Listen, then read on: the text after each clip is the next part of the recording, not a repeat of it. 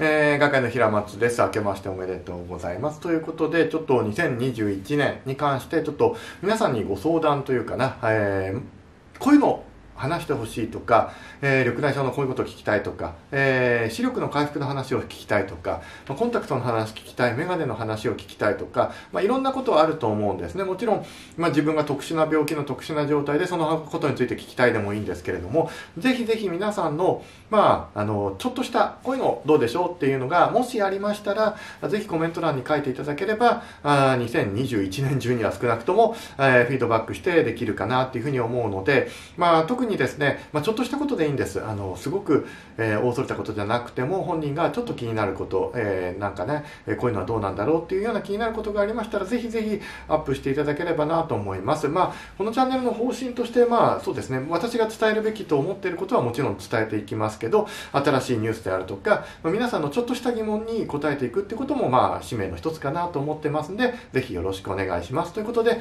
2021年よろしくお願いします。